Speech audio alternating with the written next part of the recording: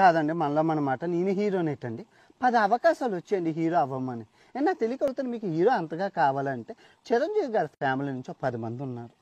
ఎన్టీఆర్ గారి ఫ్యామిలీ నుంచి ఒక పది మంది ఉన్నారు ఏఎన్ఆర్ గారి ఫ్యామిలీ నుంచి ఒక పది మంది ఉన్నారు కృష్ణ గారి ఫ్యామిలీ నుంచి ఉన్నారు నాయుడు గారి ఫ్యామిలీ ఉన్నారు ఎమ్మెల్యే కొడుకు హీరో ఎంపీ కొడుకు హీరో ప్రొడ్యూసర్ కొడుకు హీరో డైరెక్టర్ కొడుకు హీరో హీరో కొడుకు హీరో హీరోయిన్ కొడుకు హీరో విలన్ కొడుకు హీరో సంగీత దర్శకుడు కొడుకు హీరో కమీడియన్ కొడుకు హీరో జబర్దస్త్లో నుంచి వచ్చిన వాళ్ళు హీరోలు ఉన్నారు బిగ్ బాస్లో నుంచి వచ్చిన వాళ్ళు హీరోలు ఉన్నారు ఇంకా టీవీ సీరియల్ నుంచి వచ్చిన వాళ్ళు హీరోలు ఉన్నారు ఆఖరికి నేను యాంకర్ కొడుకు కూడా హీరో అయ్యాడు.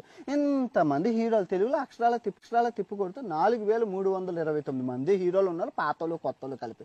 ఇంతమంది హీరోలను వదిలేసి నువ్వే హీరో. నా మొక్కం ఎప్పుడైనా అర్థంలో చూసారా నాకు తెలియకరుగుతాను. నెత్తి మీద మూడు ఏకలు ఉంటాయి ఐదు నెలలు ప్రెగ్నెంట్. అంత బొజ్జు ఉంటుంది.